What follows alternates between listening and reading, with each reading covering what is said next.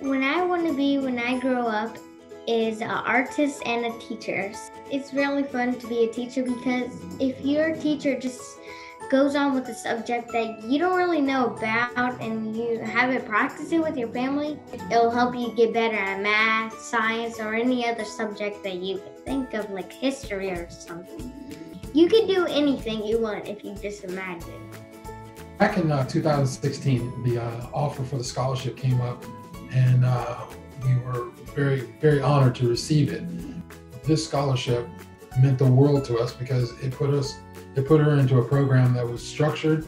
Um, she was there for preschool, and this scholarship set uh, Savannah off on her educational journey. To which uh, today she's in the second grade.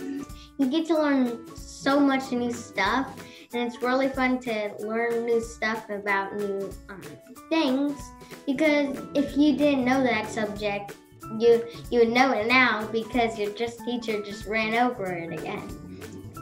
It's been a great opportunity and it all started with this wonderful scholarship. So shipmates get in there and get that application in by uh, april 16th hope you like it. Bye. Such a ham